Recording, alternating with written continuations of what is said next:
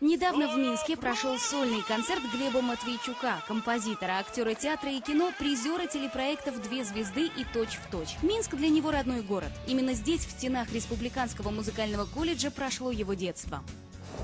Вот мой любимый лицей, где я учился с 10 лет.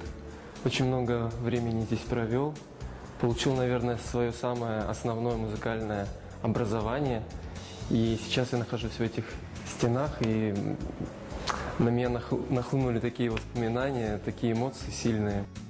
17 лет Глеб прожил в Минске, прежде чем уехать в Москву учиться. Он все равно считает себя белорусом и едет в нашу столицу как домой. Здесь остались друзья, одногруппники. Среди них продюсер Андрей Кулинкович. Ох. Помню, да, было дело. Никто не верит, даже моя жена, то, что я здесь, у меня были какие-то успехи, я 40 раз подтягивался, в общем-то, был таким передовым спортсменом. Ах, эти молодые годы! Какие воспоминания они навевают! Здесь была целая жизнь, она была везде, и в спортзале, и, Конечно. и во всем здании. Я помню, что в той раздевалке был первый поцелуй. У нас зрителей столько. Как бы не ударить в грязь лицом. Приезд такой знаменитости в родную Альма-Матер произвел настоящий фурор. Все гордятся своим выпускником. Здравствуйте. Марина Евгеньевна. Люди к нас посещают. Очень Это приятно. мой любимый педагог по сольфеджио, по теории. Ох, тяжело, признаюсь, честно. Для меня это был, наверное, самый сложный предмет. Мне кажется, он преувеличивает. Тоже кажется.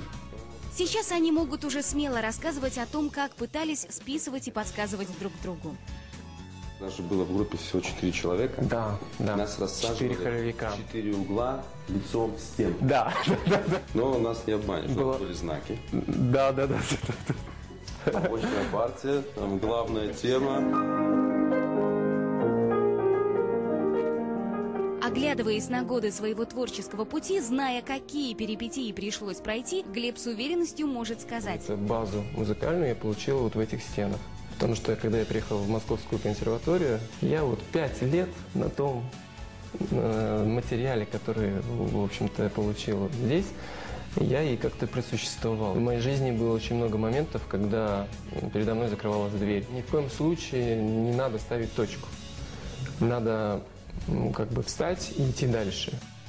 С семи лет мальчик Глеб знал, что должен стать музыкантом. С тех пор он медленно, но уверенно шел к своей цели. И в свои 33 уже вынес несколько постулатов.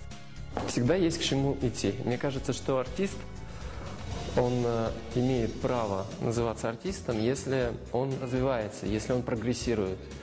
Если человек сам себе говорит, ну, я достиг всего, чего я хотел, то это уже путь назад. А на старых досках почета можно даже найти себя. Слушай, вот, по-моему, это я. Очень похож. Ты себя видишь? Это? Да. Нет, это не может быть ты. Почему? Да нет, это не ты, мы в это время уже были гораздо старше. Во! Стой, стой, стой! Вот это точно я, сто процентов. А, А вот ты! Большая часть музыкального колледжа сейчас на реставрации. Глеб и Андрей застали многое еще в том виде, в котором запомнили с детства. Мы, наверное, погуляем здесь, потому что столько всего, всяких воспоминаний интересных, историй, даже некоторые не для камеры. Поэтому спасибо большое, что были с нами. В общем, до встречи. Некоторые воспоминания мы проносим через всю свою жизнь. И не имеет значения, это жизнь простого обывателя или телезвезды.